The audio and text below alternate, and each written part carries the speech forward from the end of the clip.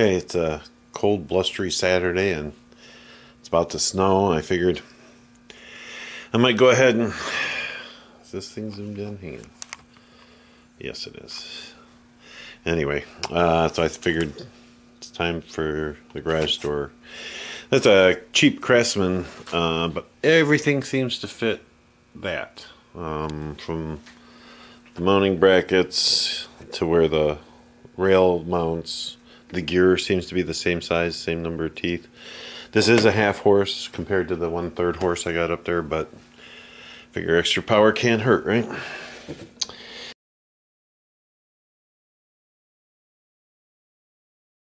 Uh, so we got a quick meal call from ta-da! Oh, silly light.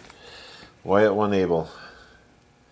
Uh, it's a great guy. I love this channel. Um, sorry it's taken so long to do this, uh, but um, I'm sure you don't care. But um, it came just before my back went out, and then got lost until this like two days ago. So, um, but I'll I'll insert a little clip here.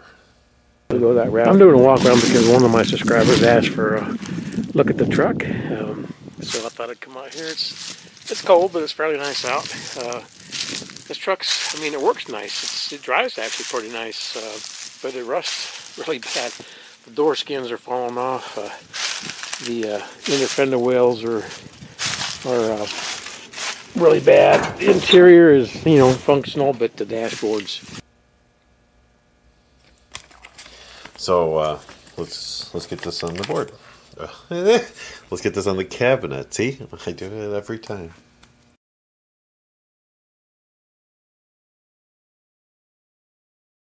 And there you are, up in the cabinet. It's a cool sticker. Love that sticker. Bunch of cool stickers, bunch of cool guys. God, I miss you guys. I can't, it's hard for me to keep up with the job and the back and everything, but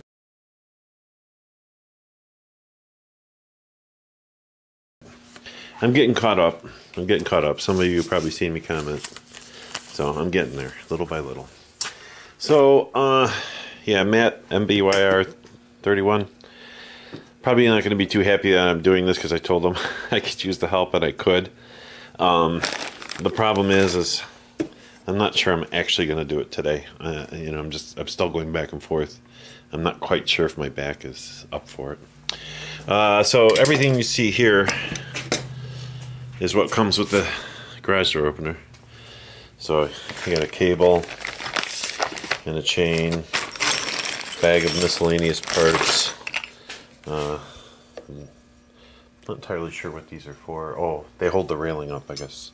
Uh, the rail. Comes with this thing, which I wouldn't use on a bed. It's mostly plastic. Look at this arm. This whole mechanism is just plastic. Yeah, you know, I don't need that. Um, garage door openers for the car. I know one's for the light, one's for the garage. Not sure what the other one's for. Um, big button for the next to the door. Look at this. That's it. The entire thing right there. so, uh, brackets for the sensors, wire, more sensors. I'm just going to use the ones I got mounted there in uh, another piece of the railing. I'm not sure. Um, and then that piece that hooks the rail to the uh, to the to the door. Um, I'm not really not really clear what these are. I guess when I read the instructions, yes, I'll read them the instructions. Uh, we'll see. This does come with the option to connect it to Wi-Fi. I'm sorry, I want nothing on my house connected to the internet. Sorry, that just isn't going to happen. I don't need my garage door to open with my cell phone. That's why I have these. They're simple, they're elegant, they work well. You put them on your visor. I don't have to worry about whipping out my phone and locking it and hoping nobody hacks it. Yeah. Uh, luckily, you have to buy an external piece and plug it in. I think somewhere in here uh, for it to have wi uh, to connect to Wi-Fi and uh, get on the internet. Uh, I will not be purchasing that part.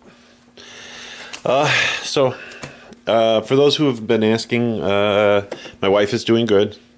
My back is kind of better. I mean, it's that's kind of why I'm stalling on putting this in. Um, I, it still lets me know every once in a while when I move the wrong way, so that tells me it's not nearly ready uh, for me to do anything major.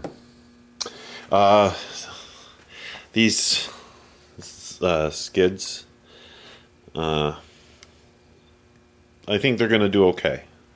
Uh, I've I've raised and lowered it a few times like I would if I were plowing, just to you know kind of see, and uh, they're holding firm and not moving, and just, I think it'll work. I think it'll work. Um, but you know, thanks to everybody for the uh, the uh, kind words uh, and uh, thoughts about my back. it is what it is, right? I'll get I'll get past it. Uh, luckily, the job I'm at uh, still intends to make me an offer. And the two weeks I was gone didn't, even though that really put them in a bind. Um, they were happy to see me back and still want to hire me. So I think that's good news, huh?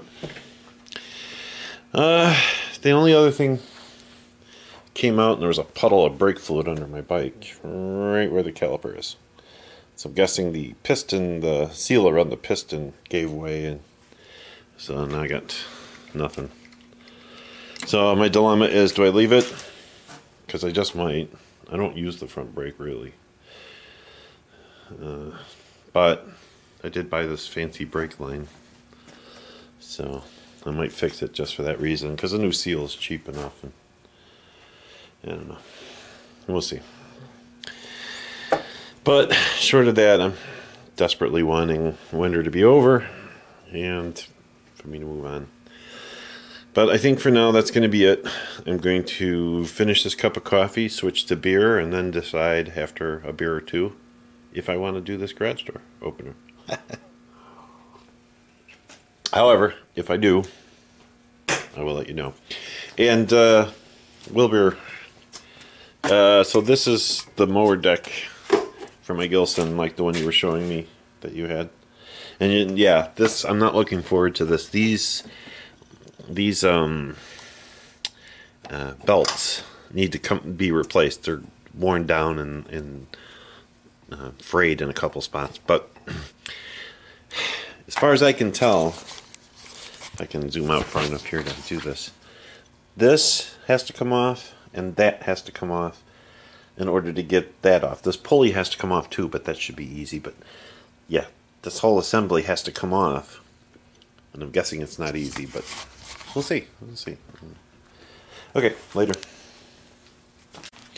So I went to go start the tractor to move it, put my wife's car in here.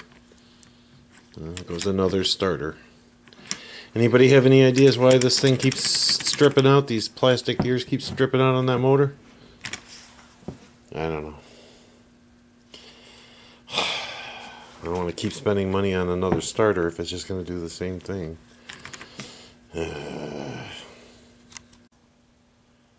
okay, so guess I decided to put it in after all. But uh, it really wasn't bad and only took me a few minutes. I used kept everything else. I just replaced that and uh, put that on the door. I did uh, did manage to get the uh, tractor moved and uh, my wife's car in the garage, and uh, I couldn't start it with the starter, obviously, so I used rope. Believe it or not, worked really well. Just getting it around the drive shaft is. Uh, um, so the flywheel has the spot for the rope, right? And that works well. You just, it's got a little notch. You can wrap the rope around it and give it a yank. Fine but there's a drive shaft that comes off it, so you have to get, you know, you have to kind of wind it a little goofy. But anyway, it worked. I got it started, and uh, it's the only way I was going to get that back there and my wife's car in here. But I did get another mail, something in the mail. Yeah, that's right. You gotta love Harbor Freight, right? So, see if I can do that. Yeah, that's right, tap and die set. I've got uh, a few uh, taps and a couple small, you know, a couple of dies. Uh, but I've been wanting a whole set uh, for a long time. And um, so I picked this. Uh, 60 piece tap and die set. And this uh, touch up gun for some project I'm doing that I won't get into right now. Uh, for under 60 bucks. So I figured out, you know, why not? Uh, it does come with the regulator and, uh, you know, so. But it's a cheap, cheap one, but that's fine. For what I'm going to use it for, it's fine. You know, if I were, obviously, if I were painting anything major or anything important, this would probably not be the brand to get. I've seen some guys on YouTube do some really good stuff with the Central Pneumatics uh, spray gun, but I think that speaks more to their talent than anything else. Um, so the other thing is this the set comes with these gauges so you can figure out what your thread pitch is. Thread size and thread pitch, I guess. So I like that, so that'll come in handy. And uh, for whatever reason, they throw this little, one little screwdriver in here. I suppose uh, for that. Oops, where is it? For that screw right there. Uh, anyway, so now from here I can just buy individual sizes that are bigger than I need. Um, or I'm sorry, bigger than what came with this kit, and if I need them. Generally, the the 60 the 60 piece kit is basically everything, um, all your basic sizes. So like all the metric sizes I'll ever need for that my bike, and all the standard sizes I'll probably ever need for the tractor. And, but there are a few bolts on uh, nuts on the tractor that are bigger than what comes in the kit, so I might have to get those, but we'll see. Um, because I'm going to go through and clean out some of the bolts and the threads, um, which was something I was going to do, and um, I just got in a hurry, so I never did. So, but that's a summer project. So, anyway that's uh, that's where we're at. Later, guys.